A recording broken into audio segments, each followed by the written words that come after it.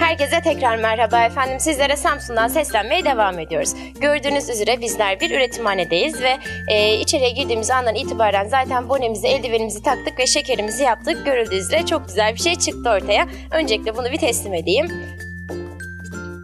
Şu an yanımızda bu üretimhanenin sahibi, işletme sahibimiz Mehmet Bey bizleri konuk etti. Programımıza hoş geldiniz. Böyle de bir ortamda bizleri karşıladığınız için sizlere çok teşekkür ediyorum. Biz teşekkür ederiz. Siz hoş geldiniz. Çok teşekkür ediyorum. Öncelikle sizleri biraz tanıyalım Mehmet Bey. Ne kadardır bu sektördeyiz? 2017'de faaliyete geçtik. Ee, yaklaşık 2 yıldır, 2 yılı bitirmek üzereyiz.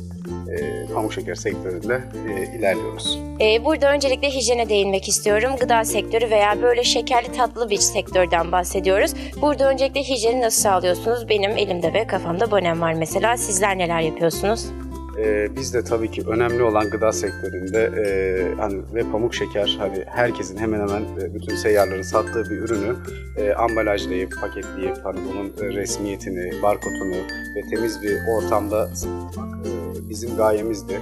Sizler böyle davrandığınız sürece bizler zaten bu şekerleri bayıla bayıla da yemiş oluyoruz burada. Yani hijyen bizler için çok önemli diyoruz. Peki bunun dışında buradaki üretimlerimizden bahsetmek isterim. Sadece pamuk şeker yapmıyoruz. İşletmeyi şu an ben görüyorum. Ee, ekrandaki seyircimizi de bilgilendirelim biraz.